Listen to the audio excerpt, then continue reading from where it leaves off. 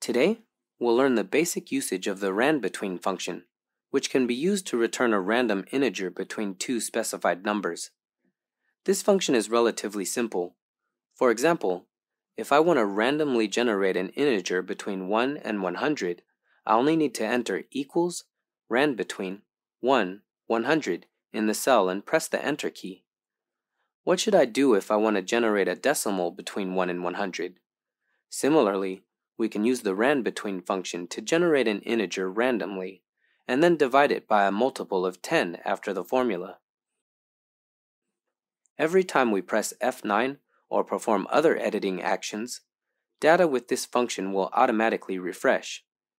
If we want to fix the randomly generated numerical value, copy and paste the function result as value. What interesting things can we do with the randbetween function? Suppose you are in charge of the company's lottery activities at the end of the year.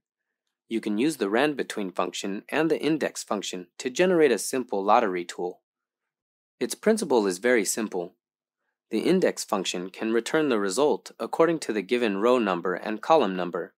In this scenario, the randbetween function can randomly generate the row number. First, we copy and paste the personnel list of the whole company in column A.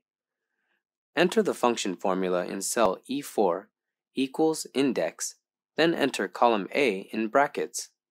Then enter a comma followed by randbetween 1, 60, where the minimum value is 1 and the maximum value is 60, the total number of people in the company. Long press F9 and the name of the person will appear randomly in the cell. When we raise our fingers, the lucky winner will be born.